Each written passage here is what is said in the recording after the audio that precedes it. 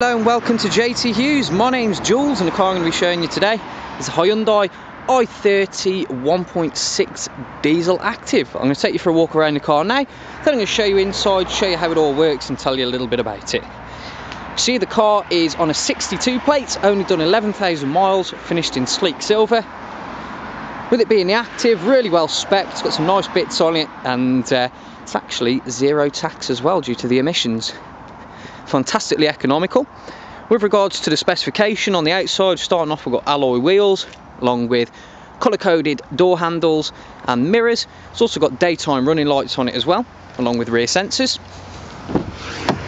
On the inside, all-round electric, so that's front and rear windows, along with electrically operated mirrors. Height adjustable driver's seat, finished in black cloth with grey detailing stop start technology so the engine cuts when you're in traffic to help you out with regards to your fuel economy.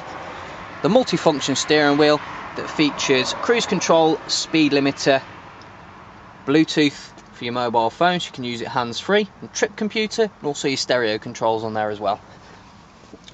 Car's got air conditioning and also USB and auxiliary plugins. You can use your iPod or MP3 player along with your standard CD radio as well onto the rear of the car it's a five door. So loads of space getting your passengers in and out of the back. You can fit three adults without too much hassle in there. Seats will also fold on a 60-40 split.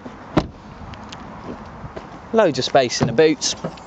You can easily fit a set of golf clubs or whatnot or your trolley and everything in there or your weekly shopping without too much hassle. And you've also got a space saver wheel in the boot car's been bought directly from Hyundai, so I doubt it'll be here for very long. So if you've got any questions or you want to arrange a test drive, give myself Jules a call on the number on the website. I'll be more than happy to take you out for a spin and see what we can do. Okay folks, thanks for watching.